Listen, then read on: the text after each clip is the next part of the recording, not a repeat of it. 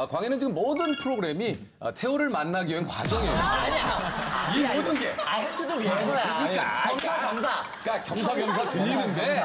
여기도 들리고 저기도 들리지만 결국 가고 싶은 것은 하나예요. 네, 그거를 아니 좀 모든 방송이랑 김태우 씨한테 바치는 영상 편지 같은 거예요? 아, 보, 그렇게, 그렇게 저랑 방송을 항상 하고 있는데, 네. 태호 PD님 한 번도 안 보셨다고. 근데 오늘은 형이 하니까 보시지 않아요. 사실은 이제 호, 호동이 형도 정말 저한테는 생명의 은인이신 또 예능을 키워주신 분이라 저한테 너무 감사한 분이에요. 무릎팍 같이 했고. 사실 작은 형이시면 큰 형이세요. 그래서 너무 감사해가지고 그때 아는 형 때도 너무 재밌게 이렇게 뽑아주시고 이렇게 애처롭게 봐주셔서 너무 감사하더라고요. 어떻게 또 이렇게 감사할 방법을 찾지 못해서 이 형도 안 서운해하는 것 같잖아. 은근히 서운해.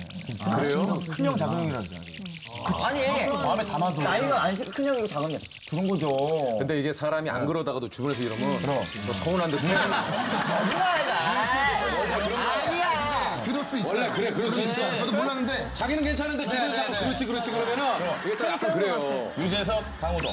하나, 둘, 셋! 유재석. 그러면 또 애매해진다니까. 호동이 형이 또 유재석이야 돼. 아니야. 아니야. 나 그때도 형, 다 다른 방송에서도 재석 형이 얘기했어요. 저기서도? 어, 그래요? 다 다. 왜 왜? 아 그래도 라인 하나만 타야지. 라인이 어딨니? 라인이 어딨어? 유재석, 김태호. 하나, 둘, 어? 셋. 아 우리 같은 편이야. 강이야. 나눠줄 수가 없어. 같은 편이 수가 없어. 야 같은 편이 어딨어? 아니야. 방송에. 태호 PD님은 ENT 차고 나가도 재석 형한테 가요. 차석처럼 가. 차석처럼 가. 아 나 참 그거.